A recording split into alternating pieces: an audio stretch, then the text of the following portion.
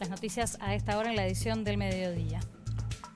Bueno, atención con esta información urgente, último momento, lo acaba de confirmar el gobierno de la provincia, detectaron el primer caso de variante Delta en Mendoza.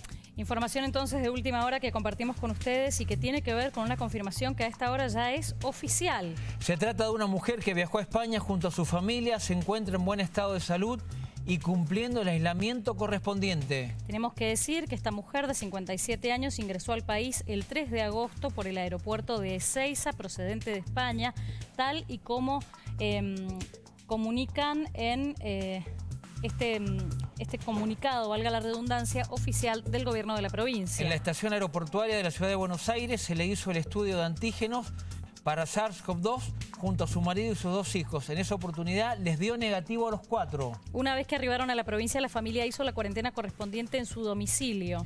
El 10 de agosto, en cumplimiento de los protocolos para viajeros internacionales, la mujer asintomática se realizó el PCR correspondiente en el hospital de Encinas. Como se trataba de una persona que venía del exterior, se envió la muestra al Instituto Malbrán, tal y como indica el protocolo.